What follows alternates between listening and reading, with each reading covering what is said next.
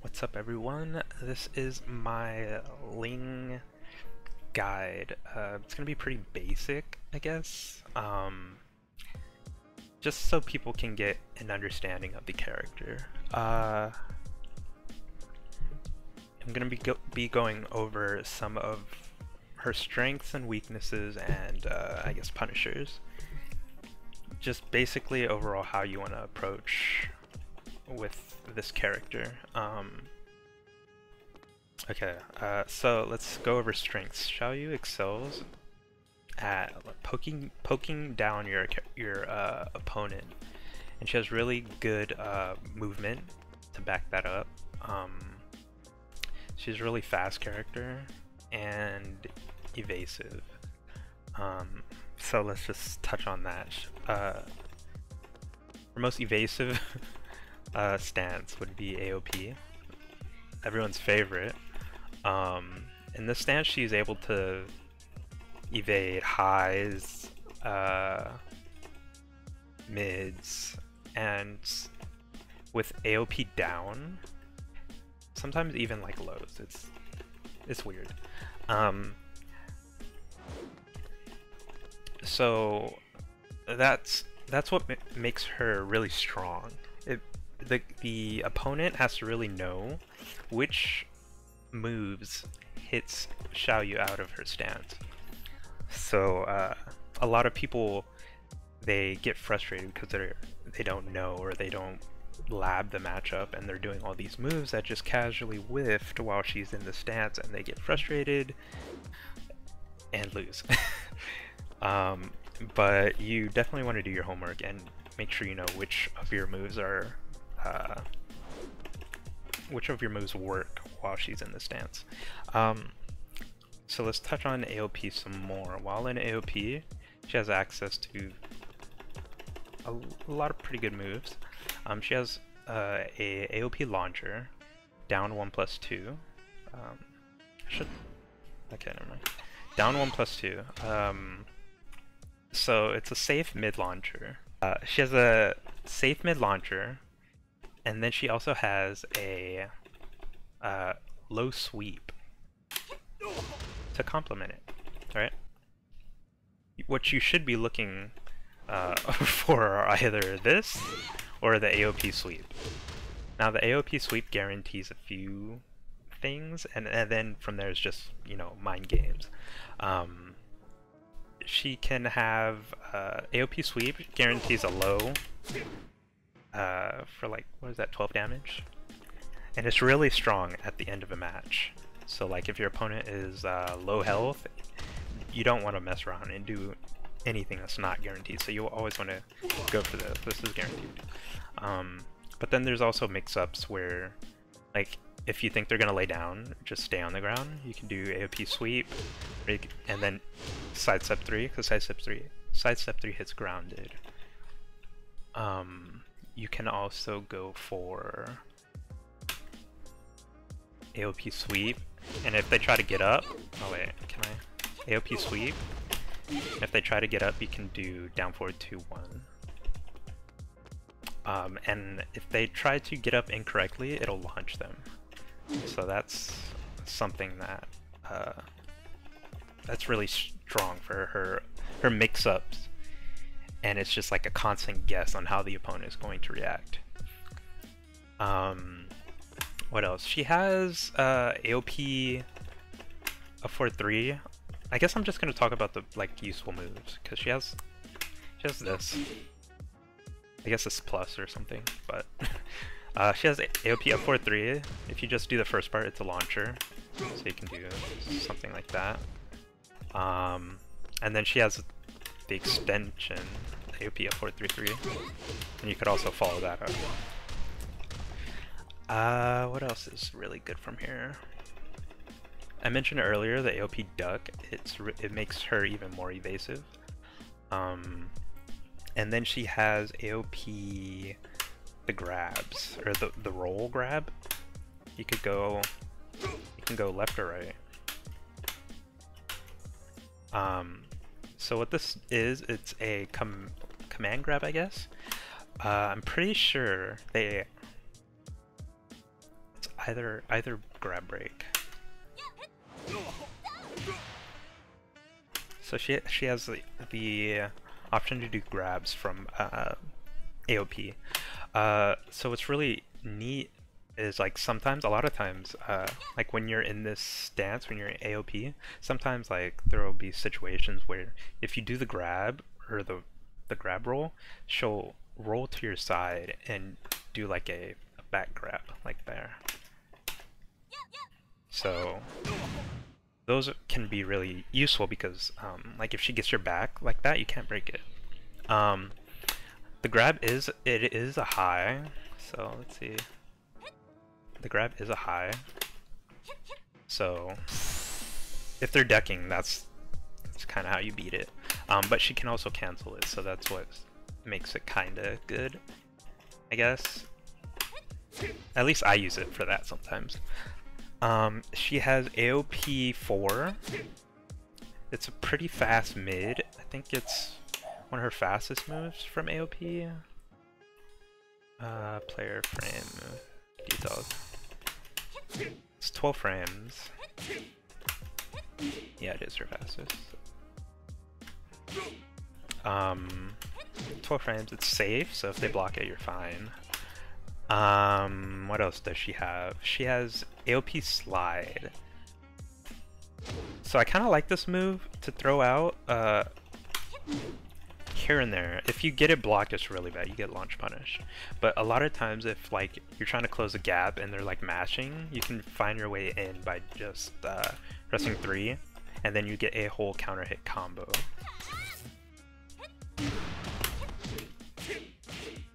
So you get a combo off of uh, AOP three um, on counter hit. So that's really good. Uh, in AOP, you're able to cancel it, cancel the stance by tapping up. Um, so I know a lot of a lot of Ling players, I guess, or just players in general, aren't too sure how to do that properly. A lot of them was like jump or cancel the stance by doing a move, but you can actually cancel AOP by just tapping up, and you're really safe. You can block right away. Um, let's go over her back turn stance. Um, so she has back turn. Uh, from here, she is probably like the scariest character in the game with Rage. Um, due to her Rage Drive being a low launch starter, uh, so her Rage Drive is, is comes out pretty fast here and gives you like a whole combo. And then you get a lot of damage, the thing is, the mix-up is, uh, so while she's back turn, she can also do a mid-launcher, which is back turn 4, um, which also gives her a bunch of damage. So it kind of makes it, like when she has rage, you're kind of scared to duck because you can eat that mid-launcher, or you're kind of scared to not duck because, you know, the low. Um, or a lot of times, if you're just ducking, right? Say the opponent the opponent is being stubborn. You just you just chunk them down with this, right? And if if their back is to the wall, you get a whole combo. And, and this is a mid, and it's all natural if the first part hits. Back turn one four. Yeah, the wall was weird there, but it's a really strong tool. So back turn one four guarantees that. Uh, you don't want to really abuse this too much because the second part is a high. So if they're ducking, they can just launch you. Um, second part is high. Uh, what else? She has back turn down four. Let's make them stand. Back turn down four, which is a, uh, it guarantees a, it guarantees damage. Um, and depending on where you're at, you want to do different things. At the wall, you want to do that. That's pretty solid damage. Um, and yeah, so with this move, you, you have to be careful with because uh, in, in Tekken 7 they sped up the, the speed of the move, so it comes out faster, but it doesn't launch anymore. Um, in previous games, it was really slow, but it gave you a launcher. Um, so that moves, you have to be careful because it is launch punishable on block. Um, she has back turn down 3. It's really plus on its own, plus 7. Um, the follow-up is a high, so you don't really want to finish finish it. It's guaranteed on counter hit. But like, if you just see the first part hit and it's not counter hit, they can duck the second hit and launch you for it. Um, she has this roll. She has the roll. The roll is pretty evasive sometimes. Um, and then you can do the the launcher from it. Uh, what else does she have? From back turn, she has grabs. She has, uh, the input for the grab is, uh, I guess while your back turn is forward forward. So it's forward forward grab, 2 plus 4 or uh, 3 plus 4. And you have to break, oops, sorry. You have to break those grabs accordingly. So the 2 plus 4 is a 2 break, and then the 1 did I say? and then the back turn 1 plus 3. I think I said 3 plus 4. The back turn 1 plus 3 is a 1 break. Um, so in, in tag 2 she was really strong because of her back turn grabs. Uh, and then in Tekken 7 they kind of nerfed that, right? All, all across the board. Um, so characters with command grabs are pretty strong. Um, like her back turn grabs got nerfed, but that's the only way to do it is with the hopping grab. Um, but it is a whole hopping animation, so it's not the strongest, right? They can easily duck and react to it, so use that move sparingly. Uh, back turn 3, it's her wall bounce. I don't know. I'm still whatever over wall bounces. But um, she has that, and uh, yeah, I think that's it for for like really good moves back turn. There's a, like there's a bunch of like I guess more advanced tricks for back turn. Um, doing back turn moves, etc. Uh, but that's not the point here. um, so yeah, uh, let's go over her punishers. Um, I don't know if I should have covered this in the beginning, but whatever. Her 10 frame is uh, 1 down 2. Um, you can hold it to stay front facing, or you can tap it and uh, go back turn. And I think this is really strong because uh, you get the back turn mix up. Remember, we have our down 3, we have our down 4. If we have rage, uh, we have options to do the Rage Drive. And then one down to, uh, yeah, it, it, it's really good Punisher. Uh, 11 frames, 4, I guess. Uh, a lot of times, if I'm unsure of a punishment, I'll do one down two. It's you can't go wrong there. Um, 12 frame, you have forward 1 plus 2, your shoulder. Uh, it's a really good move, wall splats. Um, it knocks down. Yeah, forward 1 plus here. Uh, you have to be careful with this move, not to miss your punish, because it is launch punishable. Um, so yeah, also you don't want to really throw this move out there. You only want to use it as a punisher, really. Uh, 13 frames. 13 frames, uh, we have back 4-ish. Uh, I don't really believe in using back 4 too much.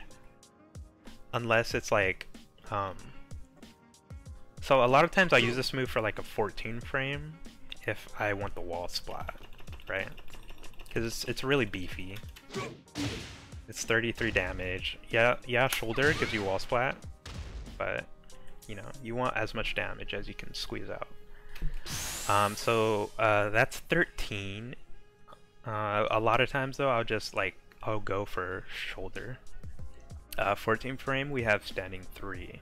Now that's a really good Punisher. Not too many characters have a 14 frame launcher, and she does. Um, 4, 4, 3, down 3, 4, 4, 2, 1, 4. Um, there's different combos you can do, but that's more consistent. Um, 15 frame, you have down 4, 2, 1.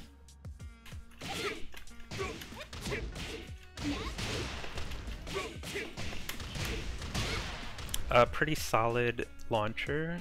Um, down for 2-1. Uh, she also has, for 16 frames, she has hop kick. And that's the important moves that you need to know for her, uh, her frame data.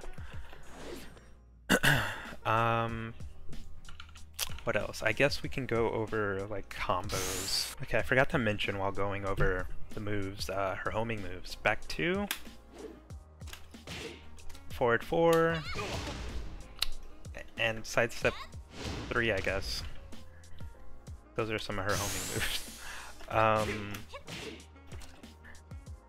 uh, so combos. So I'm gonna show you guys just like basic combos for like damage, like basic enders, and then I'm gonna show you how to end your combos in Oki. Okay. So this is off of down 2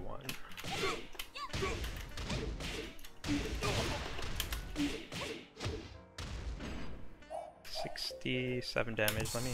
I have rage on, but you want to do the same. Uh, sidestep three.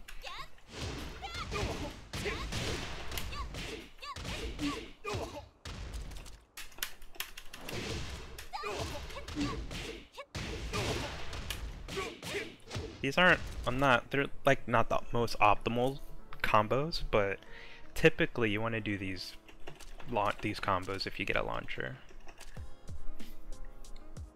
But usually if there's like a wall or something, that's when you adjust your combo. Um, but we're just showing you open stage combos. So that launcher was wall rising 2 delayed.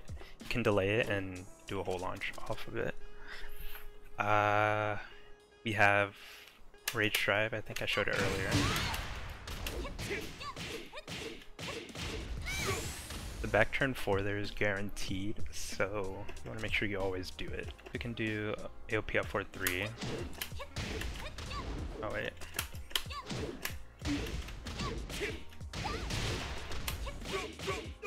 It's pretty standard, a lot of the combos are the same.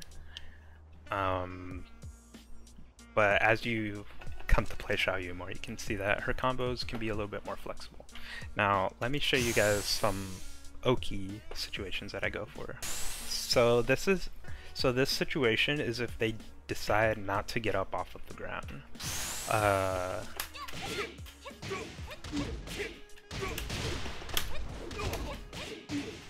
so there you get like a mini reset combo Okay, so this one is if they decide to tech roll. You get to do... Wait, here, let me just show you when they tech. So in this situation, they have to guess. They have to guess if I'm going to do AOP sweep or uh, I guess the mid launcher, right?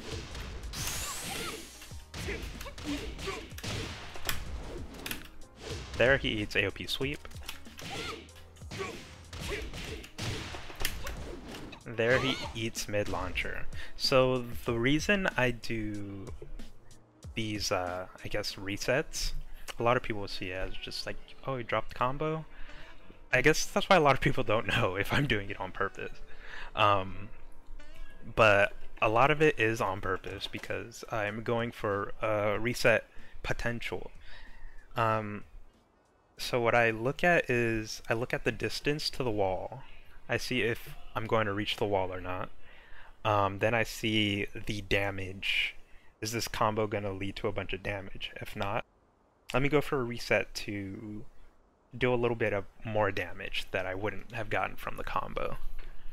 Um, and a lot of times the payout is worth, and then you get a little bit. Uh, it, it's not going to hurt you to go for it. So if you see a situation where, um, at least this is how I see it. If I see a situation and I know it's not going to kill or get them to the wall, I'm not going to go for damage and pushing them away. I'm going to try and keep pressure and try and go for another opportunity at launching them or, you know, squeezing a little bit more damage out. Um, so with this situation, oh wait, sorry. So with this situation, you have a lot of possibilities. You can do, you could do the safe mid. You don't even always have to launch them. You could do safe options even when you drop it. You can do safe mids. You can do uh, just cancel into like, like you could do something like this like stand up, cancel your AOP. Um, you can do a lot of things. You have to get creative. So that's the fun thing about Xiaoyu, is she lets you pretty much play how you want. You know, there's no one way how you want to play her. Um, you get to experiment a lot and see what suits you best. Um, I hope you guys enjoyed this quick-ish tutorial. Um, if it's if if it goes pretty well, I'll do a more in-depth uh, guide for Xiaoyu, like with all the tips and tricks. But I hope you guys enjoyed. Um, I'll see you guys next time.